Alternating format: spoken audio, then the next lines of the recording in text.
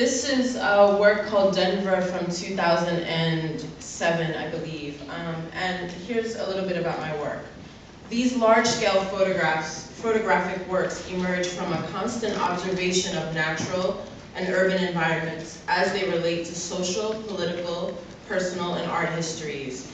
In most of my photographic works, the landscape serves as a central and formative catalyst, generating ideas surrounding place, time, and the characters that populate and are active within each of the locations.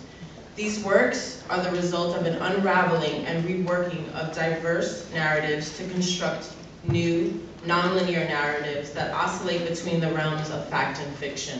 And I'm really influenced by language and um, how to use the poetic in a, in a photographic way. Um, and to that end, I make um, photographs and installations and performances and theater pieces. And I hopefully all of all of the work sort of informs the other.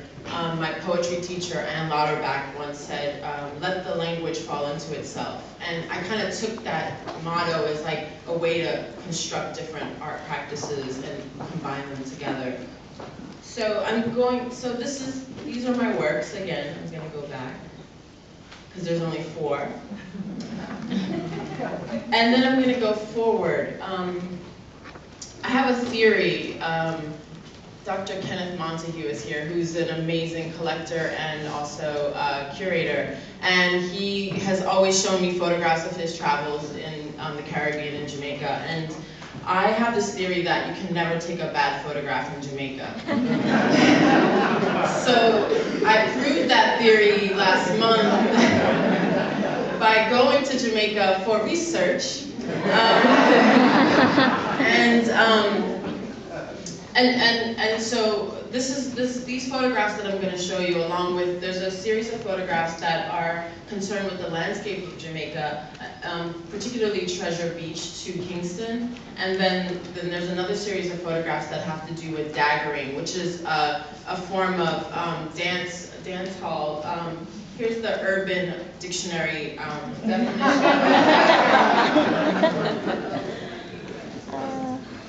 uh, oh, there it is. What is daggering? Some call it dry on the dance floor of a dance or party, but daggering is where a man and a woman are dancing in a sexually provocative manner, which usually includes them simulating various sexual positions and oftentimes rough sex to the beat of whatever music is playing at the time. So what I'm interested in right now is how to locate what bodies do in landscape and then how landscape also influences uh, the bodies and to see the correlation between the colors, the, the sort of architecture and the design of, of landscape, but also look at how, how human beings um, exist within it. Um, and it's a really simple thesis. It's